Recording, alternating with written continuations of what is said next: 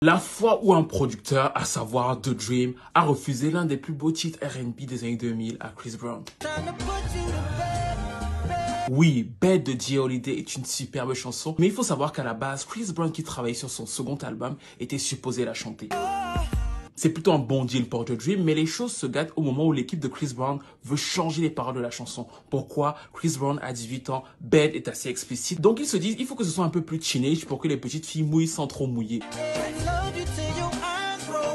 Ils disent ça à The Dream, The Dream lui pense à ses droits d'auteur. S'il modifie les paroles de la chanson, ça veut dire que je perds en droits d'auteur. Donc il finit par dire non à Chris Brown. Chris Brown de son côté, un peu mauvais perdant, s'énerve et lui dit comme tu m'as refusé la chanson, sache que jamais ne sera numéro 1. The Dream prend le risque de la donner à un chanteur qui était totalement inconnu à l'époque, à savoir J. Holiday. Et le titre sera effectivement numéro 1 des charts R&B pendant plusieurs semaines aux États-Unis avec une cinquième place au Hot 100.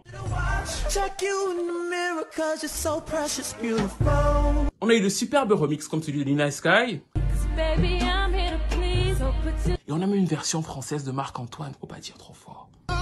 Laisse-moi te donner tout ce dont tu as besoin. Bref, que pensez-vous de cette chanson déjà? Est-ce que Chris Brown aurait dû la garder? Est-ce qu'il aurait chanté aussi bien que J. Holiday? Est-ce que The Dream aurait dû lui laisser changer le texte afin que ça corresponde un peu mieux à son audience? Ou est-ce qu'il a eu raison de rester sur ses positions avec ce texte un peu plus sulfureux qui fait le bonheur de beaucoup de gens et qui a certainement vu naître beaucoup de bébés, même si, de l'autre côté, ça a créé un petit bif entre les deux?